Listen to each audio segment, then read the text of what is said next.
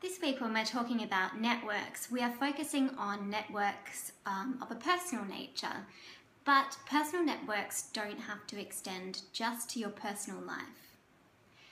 My personal learning network is a key part of my professional identity and my experience of being a professional.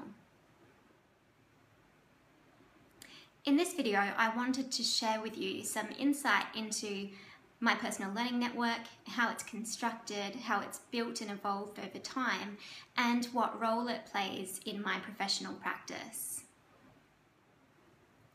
Before I get into talking about my personal learning network, let's talk more broadly about personal learning networks for a moment.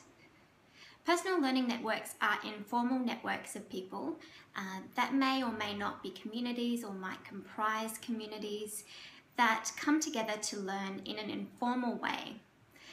So we're not necessarily setting out on a specific educational pathway together, but as we engage in our professional practice, we're continually learning and continually sharing with each other, and we're developing our professional skills and knowledge. In my personal learning network, I play many different roles or wear many different hats. I'm an academic and so I am connected to other academics with similar interests so that I can keep on top of what they're up to. I also connect with educational technologists because I have a strong interest in technologies in education, particularly the use of social technologies for online teaching and learning. I also connect with library and information professionals because that's my professional background and I'm also the coordinator of the Library and Information Education programs at QUT. So it's very important that I maintain strong connections with uh, industry. But I'm also a student in my personal learning network. So I'm not just a professional, I'm someone who is in the process of undertaking some kind of formal education and I connect with other PhD students um, on Twitter, on Instagram and in the various places that my personal learning network is based. Speaking of which, my personal learning network is based in a lot of places. When I first started talking about the concept of personal learning networks, my PLN was primarily situated in Twitter with, um, I guess, some support from blogs. So there's a really big community of librarians and library professionals who are very active Twitter users. Uh, in fact, it's kind of a key um, moment for students or people um, becoming library information professionals um, when they embark on creating a Twitter account and establishing um, a network in Twitter. It's um, something that's actually really important for this profession because it gets uh, has so much traction and people um, really connect with each other in that space. Over time, my personal learning network has evolved and it has moved into new spaces and different spaces, um, but Twitter tends to still be the central point. These days I do a lot of interacting with the kind of core people in my personal learning network on Instagram, where we have this really nice reciprocity, where we share about our personal lives as well as our professional lives. I also uh, engage with a bunch of people who blog. So um, blogging was huge in libraries. Um, starting about 10 years ago um, with lots of professional blogs by librarians as well as organisational blogs um, that libraries were putting out. We have quite um, a diverse but um, interesting community of bloggers in library and information practice who blog about um, a variety of different things from their personal lives to their reading to their professional lives to their research and so forth. In fact, it's such a rich network of bloggers that um, we have a challenge once a year to blog every day in June. And for that one month, um, tens and tens and tens of um, library and information bloggers and now people from other spaces as well um, invest in posting once a day to their blogs um, for that 30 day period those of you who've blogged before will know that it's uh, difficult to maintain um, momentum with blogging and so the Blog June challenge has been a way for us to all kind of refocus and re-energize and get going with our blogging again once a year. More recently, I'm using Google Plus communities as part of my personal learning network, and there's a few different communities that I'm involved in. For example, there's a community of people at QUT who are working on learning transformation, who post lots of things about learning analytics and online learning and the future of teaching and learning. So that's a really important site for me in terms of uh, keeping myself up to date. So one of the really great things about personal learning networks is that they promote this idea of serendipity. So I can't tell you the number of times that I've tweeted something or posted about something and it's resulted in some kind of serendipitous learning. Um, I've discovered an article that someone has um, posted that probably would never have crossed my path otherwise.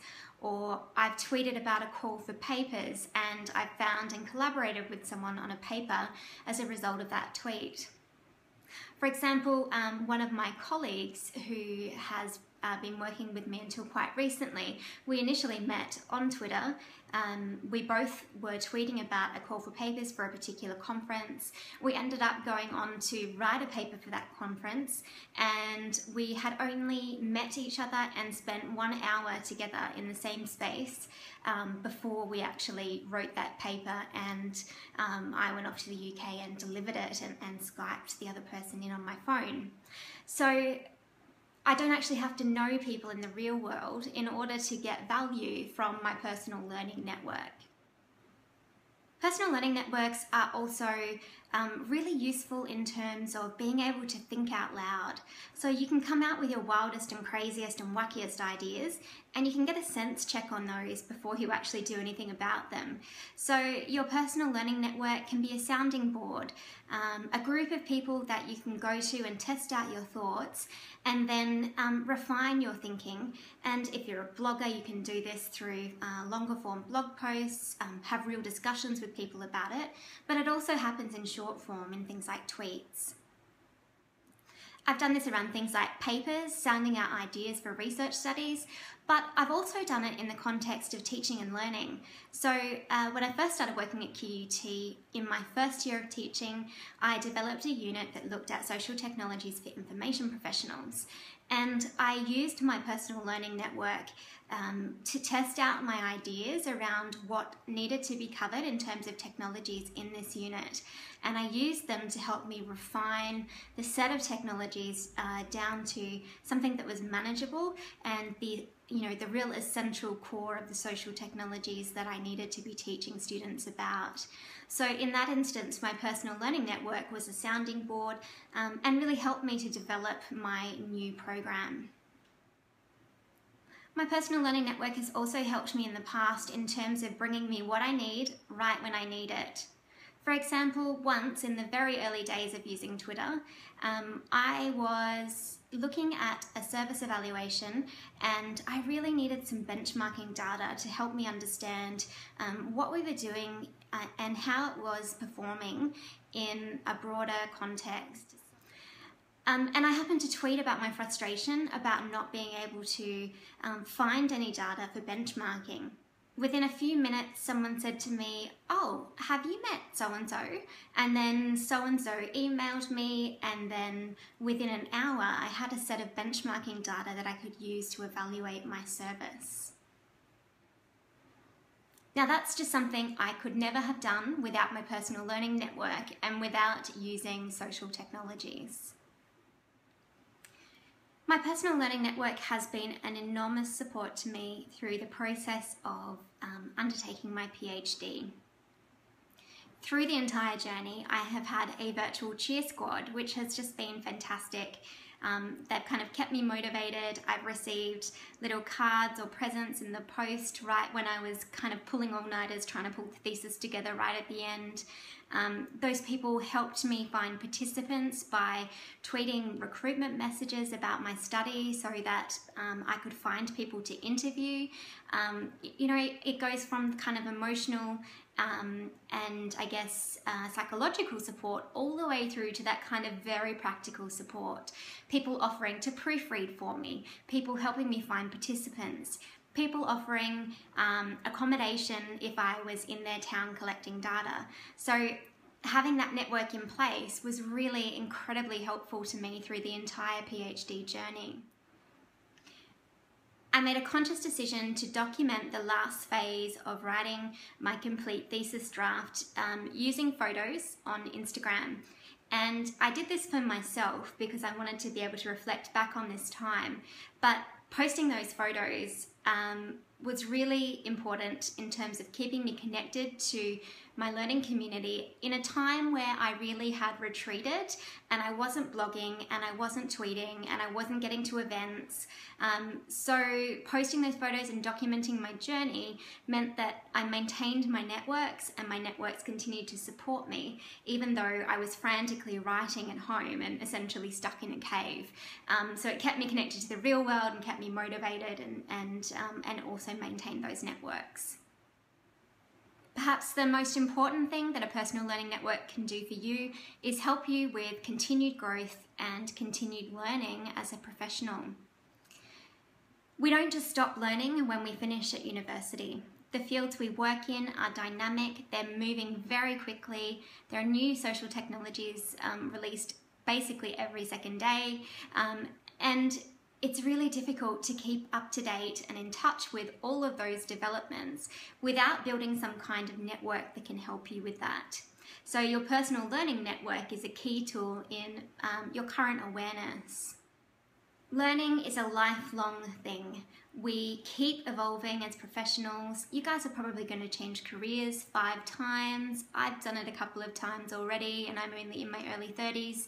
So we need to be able to um, continue to develop and learn, and, and to do that in um, not always a conscious way, um, but you know, kind of seeing stuff come past us through personal learning networks is about being um, unconsciously made aware of what's happening around you. And that brings me to the idea of building the right kind of network. My personal learning network is very much um, a filter.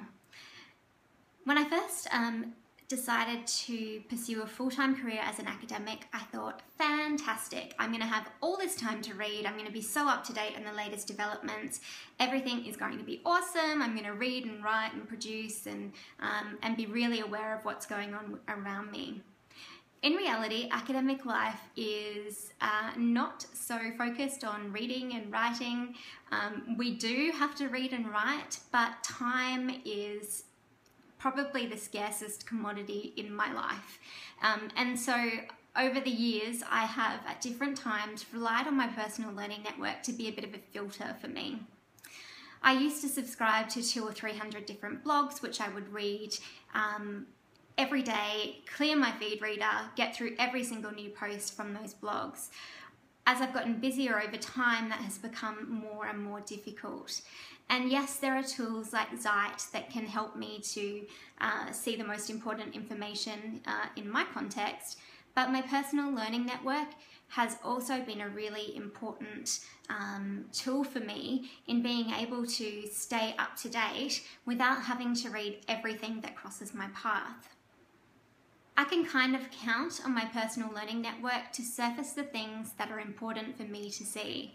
And the reason I can count on that is because I've invested time and energy and a lot of years into developing my personal learning network. Generally, I can be pretty sure that if I'm keeping up to date with what people are doing in my Twitter feed and what people are posting, that I'm going to catch most things that are of interest to me. I may not catch everything, but in those times when I'm too busy to empty my feed reader every day, the Personal Learning Network has kept me up to date on the most important things. I've added a reading or two about the principles that underpin personal learning networks, um, but it doesn't have to be something big and scary and tricky and academic. This is just about relationships, finding the right people to create relationships with, and then nurturing and maintaining those relationships for your personal and professional benefit and for theirs. It's not rocket science. Just get out there and get connected to the industry that you're going to be involved in in the very near future.